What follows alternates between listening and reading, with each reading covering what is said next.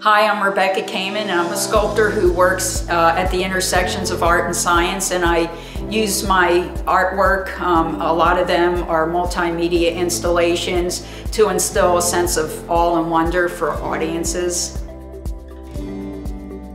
I'm trying to inspire these students to see these exciting uh, connections and bridges between art and science because I really feel that each of these fields can inspire and enhance each other. They have selected uh, specific scientific concepts and what they're doing is using art materials to express these concepts and bring them to life.